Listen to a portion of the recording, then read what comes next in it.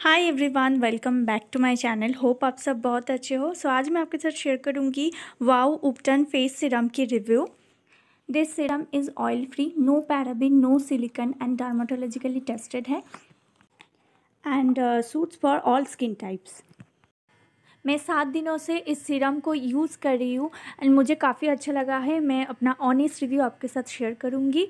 सो so, देखते रहिए।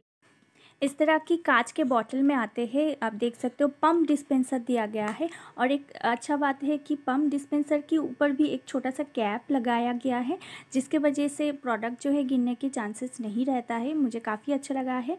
आ, इनके जो प्रोडक्ट क्वान्टिटी है वो है थर्टी एम एंड प्राइस मुझे पड़ा है फाइव नाइन्टी नाइन रुपीज़।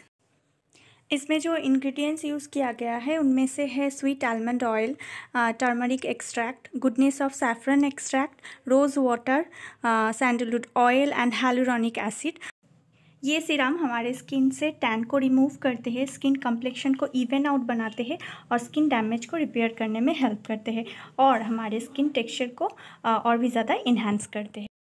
अभी मैं इसे अप्लाई करके आपके साथ शेयर करती हूँ। ये देखिए, कितना ज़्यादा लाइट वेट है, बहुत ही ईजीली सोक कर जाते हैं स्किन में।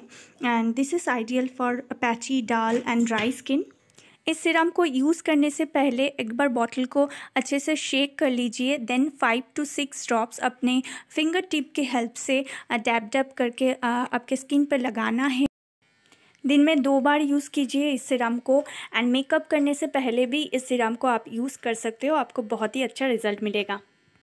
और ये देखिए, ये है वाव के उपटन फेस वॉश।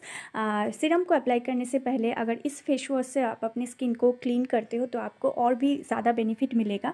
मैं काफ़ी हद तक इसे यूज़ कर चुकी हूँ, मुझे काफ़ी अच्छा रिज़ल्ट मिलेगा। इसके रिव्यू मैं नेक्स्ट वीडियो में डालूँगी। होप आपको वीडियो पसंद आए है। अगर वीडियो पसंद आएगी, प्लीज़ प्लीज़ प्लीज़ मेरे चैनल को सब्सक्राइब कीजिए गाइस। एक लाइक भी कर देना, इससे मुझे मोटिवेशन मिलता है। मैं आपसे फिर मिलूँगी और एक नए वीडियो में। बाय!